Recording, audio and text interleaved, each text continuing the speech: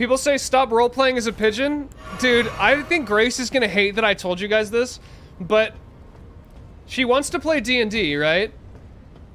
And her character concept, I think the only one that she's really passionately come to me with is like, all right, so hear it out. I'm this pigeon. So if I ever play D&D with Grace, I know for a fact she will be playing a pigeon. She will be playing a trash bird. I don't know how. She's gonna find a way. She'll write it into the backstory. She's a writer. She'll make it convincing.